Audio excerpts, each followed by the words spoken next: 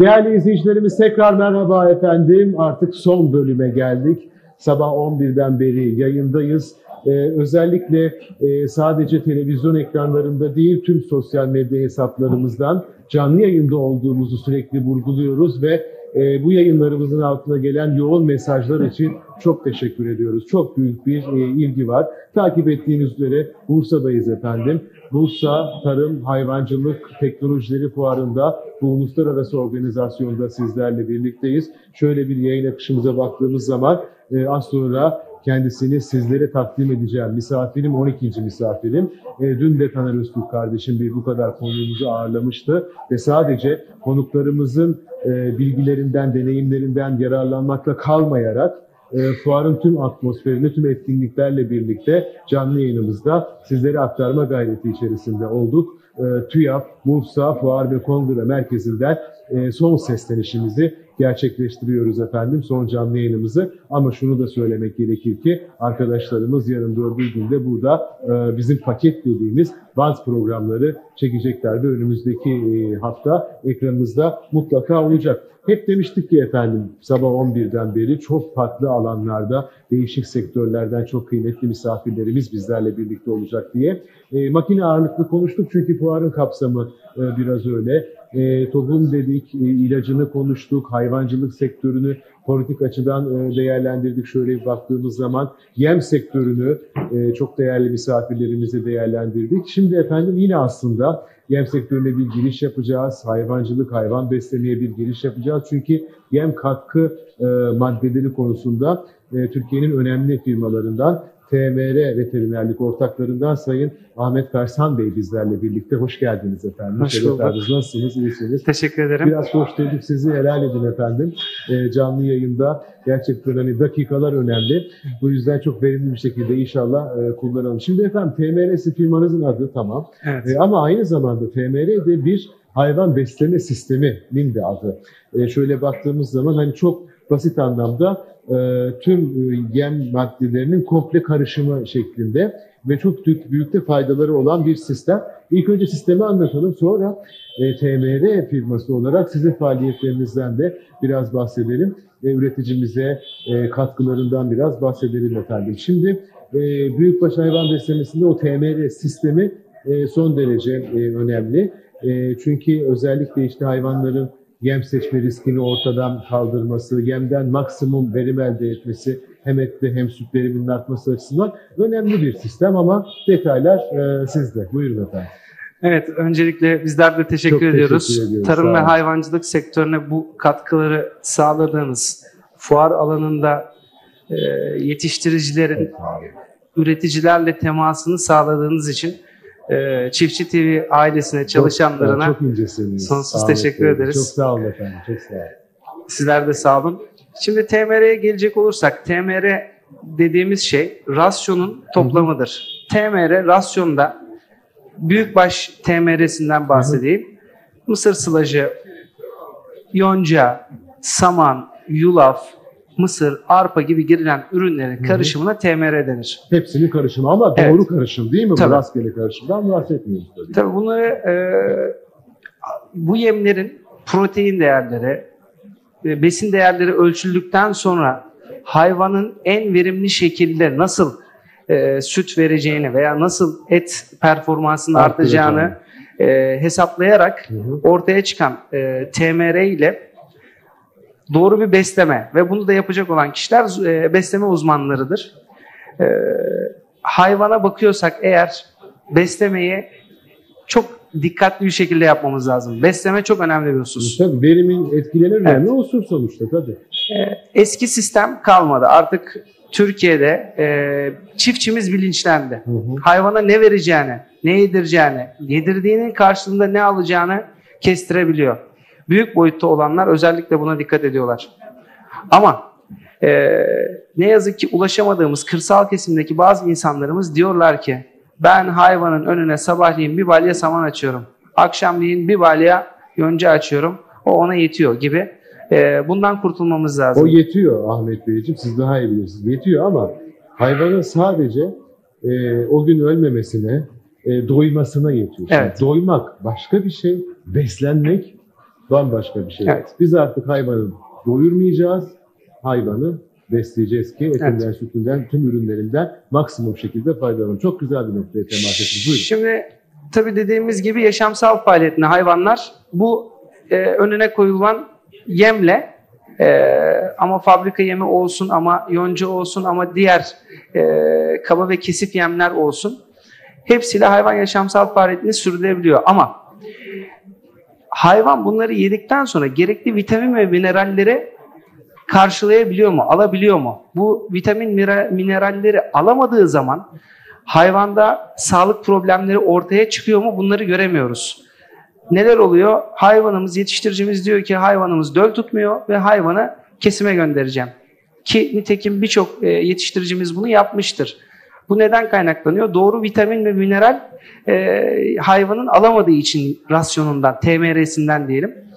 E, bunu besleme uzmanıyla en azından birazcık araştırma yaparak doğru bir şekli yöne e, yönlendirirsek ondan sonra yetersiz kalınan noktada bizim TMR olarak e, müşterilerimize sunmuş olduğumuz ürünlerle e, tamamlayabiliyoruz ve bu sorunları ortadan kaldırmak için biz varız.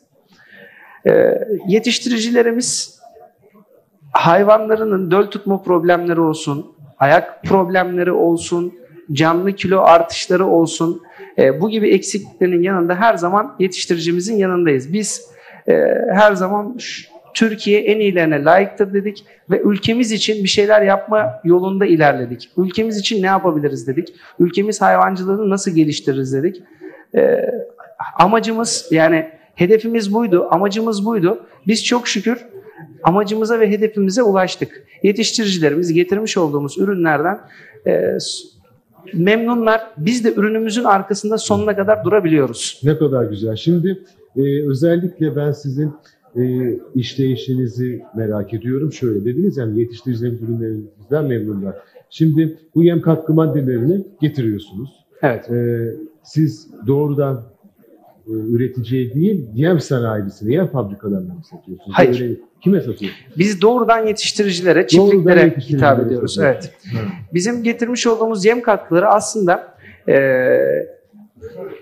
yetiştiricilerimizin yaşamış olduğu sağlık problemlerinin önüne geçmek amaçlı olan ürünlerdir. Hı hı. E, bildiğimiz toz formunda olan ürünler değildir.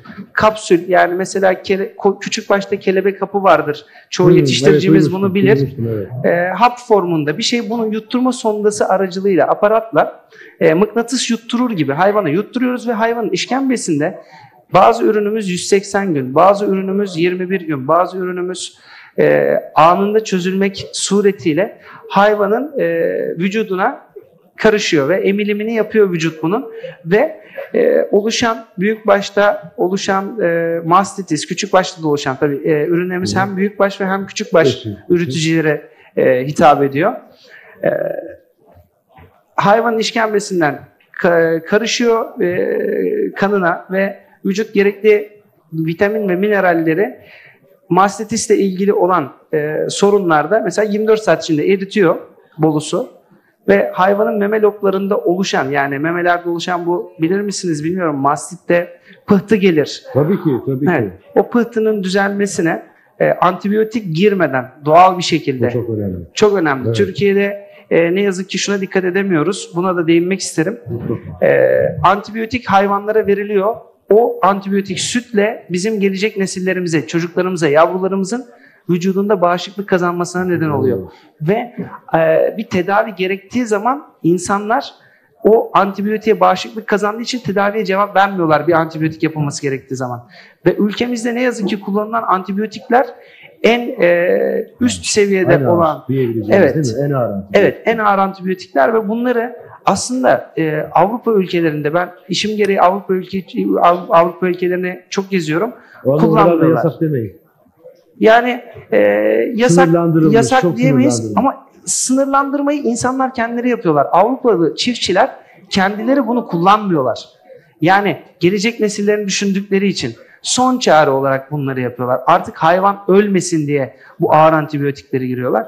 Ne yazık ki bizim ülkemizde e, ilaç sektörü e, birazcık daha e, ön planda Avrupa'ya göre. Çünkü bakım şartlarımız Avrupa kadar iyi değil. İyi değil tabii. Mecburen buna yönelmek durumundayız. Şimdi buyurun.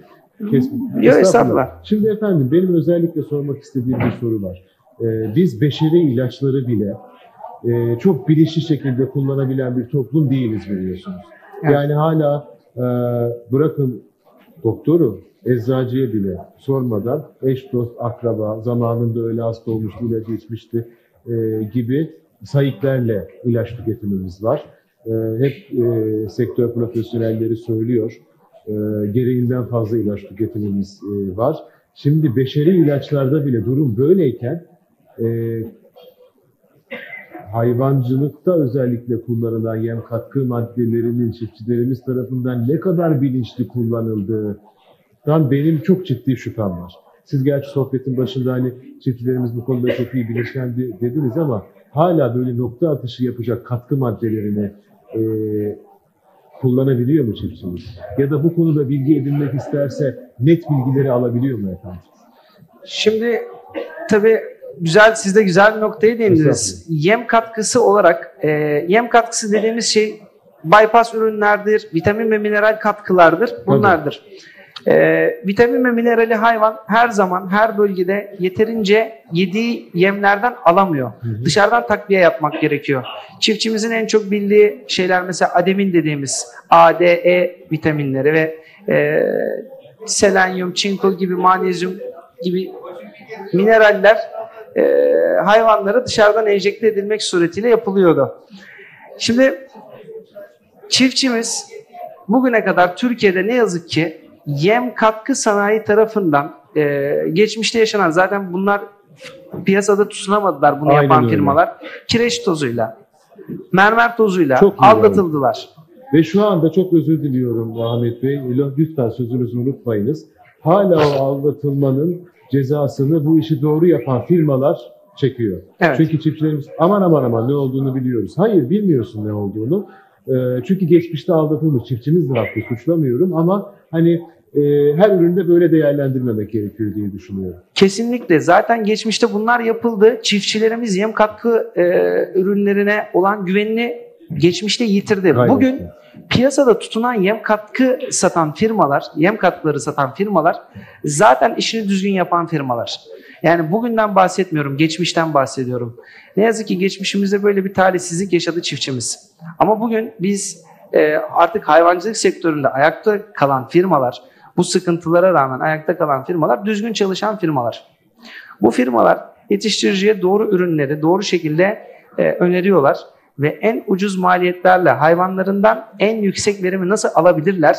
E, bunu bunun desteğini sağlıyorlar bu firmalar, bizim gibi firmalar. E, peki sizin e, gibi firmaların, e, üreticimizin yönlendirici, ücretsiz bir danışmanlık hizmeti e, vermesi gibi bir durum söz konusu mu efendim? Yani üreticimiz e, hayvanı ile ilgili bir sıkıntısını anlattığı zaman hani sizden ürünü alsın veya almasın. Ona bir danışmanlık hizmeti veriyor musunuz? Tabii ki biz her zaman için hani e, programın başında da söylediğim gibi her şey ülkemiz için, her her şey Türkiye için dedik. Biz insanlarımıza e, bizim müşterimiz olsun olmasın ama hayvan satışı ile ilgili olsun. Bizim e, üç tane sektörümüz var. Sperma, e, yani genetik, nutrition ve livestock olarak. Evet. Canlı hayvan satışında da gereken müşteriye gerektiği noktada yerli hayvan almasını, gereken müşteriye e, yurt dışından ithal hayvan alması gerektiğini, hedefleri ve beklentileri doğrultusunda onu doğru yönlendirmek çok önemlidir. E, bizim e, amacımız para kazanmak değil. Biz işimizi yapıyoruz başarıya ulaşmak için. Biz başarıya ulaştığımız için zaten bizim çok şükür kendi kazancımızı elde ediyoruz. Emeğimizin karşılığını alıyoruz. Alıyor. Ama çok yüksek kazançlar beklemeden doğru insanları doğru yönlendirerek ve ihtiyaçları doğrultusunda gerekli ürünleri kullanmalarını Bir de şu son ekonomik durumda son iki senede zaten çok yüksek kar marjları hiçbir sektörde yok. İsteseniz de zaten olmaz. Şimdi efendim e, bu ürünlerin büyük bir bölümü ithal değil mi? Yanlış bilmiyorum. Evet, hepsi ithal, Hepsi bizim ithal, ürünlerimiz. yüzde yüz ithal. Evet. E, peki niye biz bunu yerlisini üretemiyoruz? Şimdi e, Neyimiz eksik? Bizim Türkiye'de yapamadığımız bazı şeyler var. Bunları da zamanla e, yapacağımıza inanıyorum. ARGE çalışmalarını e, yapıyor veteriner hekimlerimiz, üniversitedeki hocalarımız. Üniversitelerde yapılan çalışmalar sonrasında biz bunu ürettireceğiz. Bir şekilde bu e, ülkemize kendi yerli ve milli üretimimiz olarak girecek. Yurt dışından ithal etmemizin sebebi yetiştiricilerimiz e, doğru ürünü doğru bir şekilde kullanması için bu ürünleri ithal ettik. Yurt dışının bilgilerine e, ülkemize kolay bir şekilde taşıdık ve şu an satış yaptığımız ürünler ARGE çalışmaları yapılmış. E, dünyada e, belli kişiler tarafından bilinen formüllere sahip ürünler. O yüzden ithal ediyoruz. Yani bizim bugüne kadar Türkiye'de üretemediğimiz ürünler bunlar. Ee, içeriğinde bulunan e, bazı enzimlerin değiştirilmesi yani değişime uğraması sonucu depolanması. Yani bizim ürünlerimiz doğaldır. Ee, sarımsak özü olan ürünlerdir. Sarımsak böyle ortadan ikiye kırdığımız zaman e, bir koku çıkarır ya. Bu koku e, depolanamıyordu önceden. Bunu Hollandalı bizim e, Türkiye distribütörü olduğumuz firmamız e, depolamayı başardı Hmm. ve e, hayvan tedavisinde doğal e, yöntemle süte antibiyotik karışmadan kalıntı ette sütte kalıntı bırakmadan tedavi e, eder e, yem katkı maddelerini buldu ve biz de ülkemize kazandırdık bunları TMR veterinerlik olarak. Vallahi ne kadar e, güzel söylüyor. Ama tabii buradaki bütün hedefimiz bizim e, keşke yani ülkemizin hem ekolojik imkanları e, hem üreticimizin kapasitesini düşündüğümüzde e, ne olursa olsun yani sadece tarımsal üreticiden e, bahsetmiyorum. Yani biz gerçekten e, biraz destek verilirse e, üretmeyi çok seven bir ülkeyiz. E, ama söylediğiniz çalışmaların özellikle işte TMR ve veterinerlik olarak yaptığınız çalışmaların hani tüm Türkiye çapında yayılması. E, biz neden yem katkı maddelerinde ithalatçı olalım? E, niçin diğer e, yem girdilerinde mesela soyada ithalatçı olalım? E, benim bütün e, derdim aslında e, bunlardı. Ama verdiğiniz mesajlar da gerçekten çok güzeldi. Çok teşekkür ediyorum. Ben buradan son olarak efendim, son 1-2 dakikamız e, hala bu tarz ürünlere şüpheyle yaklaşan, geçmişteki yanılgılarının yanılgılarında e, hala piyasadaki ürünlere güvenmeyen, çok değerli hayvancılık yapan üreticilerimize bir iki cümleyle tavsiyenizi almak istiyorum efendim. Ben şunu çok e, gönül rahatlığıyla söyleyebiliyorum. Biz ürünlerimize güveniyoruz. Biz yetiştiricimizin arkasındayız, yanındayız. Her zaman yetiştiricimizle birlikteyiz. Biz şunu diyebiliyoruz TMR veterinerlik olarak. Bizim ürünümüzden memnun kalmayan, fayda görmeyen bir yetiştiricimiz olursa sosyal medyada olsun, televizyon ekranlarında olsun her yerde numaralarımız e, bulunuyor.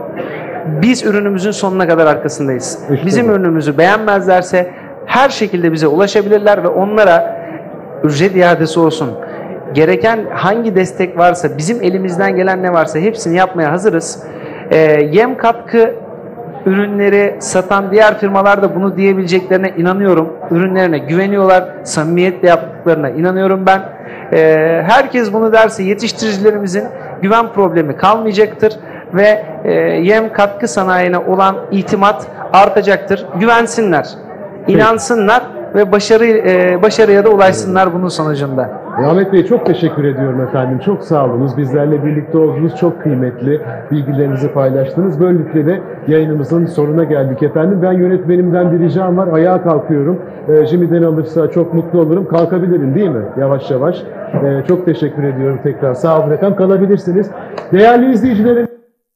Çiftçi TV ekranlarında değerli dostlarımız yayınımızı noktalıyoruz efendim. Birinci gün e, çok değerli Taner Öztürk kardeşim sizlerle birlikte oldu E, ve özellikle e, bizlerin e, ciddi bu fuardaki tüm yansımalarını e, paylaşmak için e, can siperhane bir şekilde çalıştı. İkinci gün naçizane bu görevi ben devraldım e, ve yaklaşık 5 saat, 6 saat boyunca sizlerle birlikte olduk. E, çok teşekkür ediyoruz. Özellikle sosyal medyada çok büyük bir ilgi vardı. Sadece televizyondan, ekranlarınızdan değil, tüm sosyal medya hesaplarımızdan e, canlı olarak yayınlandı programlarımız. Çok değerli çiftçilerimiz sağ olsunlar bizleri yalnız bırakmadılar. Çok teşekkür ediyoruz. Sağ olsunlar, var olsunlar. Ve şimdi arkadaşlarımdan rica ediyorum. Bu sadece interkom mu? Ben bunu sökebilir miyim? Çok teşekkür ediyorum. Evet değerli dostlar ben de yavaş yavaş emek veren kardeşlerimin yanına gidiyorum. Bana da yer açın programı hep birlikte kapatalım. Değerli dostlarımız tüm Çiftçi TV ailesi olarak iki gün boyunca bizleri yalnız bırakmadığınız için çok teşekkür ediyoruz efendim. Sağ olun, var olun. Arkadaşlarımızın yayınları devam edecek. Canlı yayın olmayacak ama bizim paketlediğimiz bant çekimleri yapacaklar. Tüm programların ve önümüzdeki günlerde yayınlanacak. Şimdilik efendim hakkınızı helal edin. Bir sonraki yayınlarımızda görüşmek dileğiyle efendim. Hoşçakalın.